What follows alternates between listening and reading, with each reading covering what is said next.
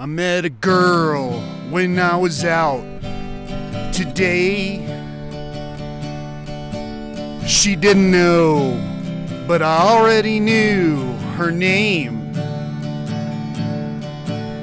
The previous girl who had seated us had said, and somehow her name stuck in my head. See, in the past, I've had trouble remembering names, dates, and everything. And when I saw her come around, wow, I had to talk with her. I just didn't know how. So when we got up to leave, I quickly I wrote a note. I hope she's interested in what I wrote. The kind of girl who I'd like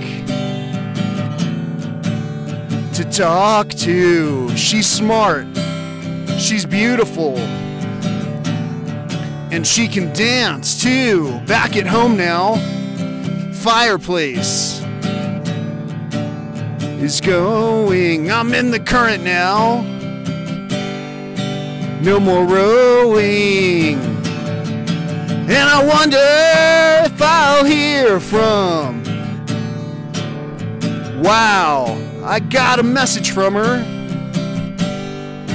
Just right now.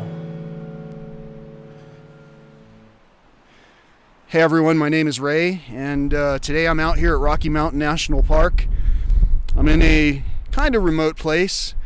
Um, had to kind of trek up a small mountain to get to this place, and now here I am.